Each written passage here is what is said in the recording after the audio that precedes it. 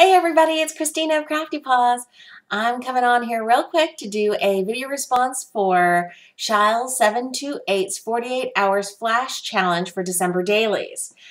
And I'm so, so happy that I don't have a migraine today.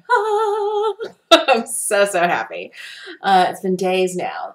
Anyway, I wanted to come on real quick and share with you guys my uh, December daily page 9 and 10 Page 9 is just this cute little printable that I found online for free.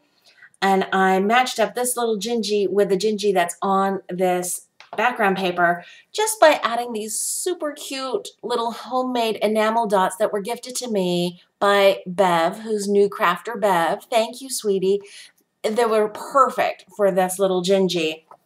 Just to, to add some little dimension, I added some fa la la la la washi tape that was um, something that I bought from a D-stash from Susumu, Nerdy Geek Crafter, and I used this, just a simple little brad there so that you can twist this up and see my journaling for the day. I don't really like my handwriting, so I like to cover it up or put it on the backs of things rather than having it visible all the time. So that's for day nine. And then this is my actual entry into the Flash Challenge.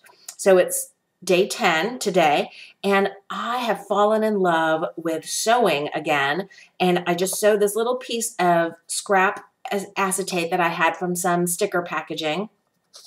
Used another free printable, and I'll put my journaling on this back of this card later at the end of the day today.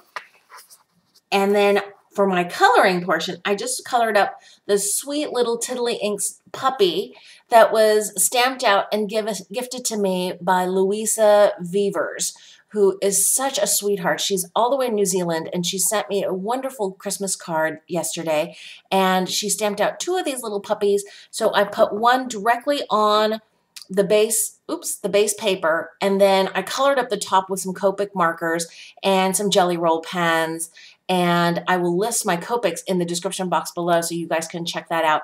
But I tucked in this little puppy. I put him up on foam adhesive and I used the Stampin' Up! ones that are slightly thinner because I wanted him to fit behind this little, I don't know if it's supposed to be a grassy knoll or a snowy knoll, I don't know. But I wanted him to be kind of in the same plane as the little snowman because I wanted it to look like the snowman was patting the little puppy's head or scratching his head there. So that's my entry for the Flash Challenge. I hope you guys are having a great day and thanks for watching. Bye.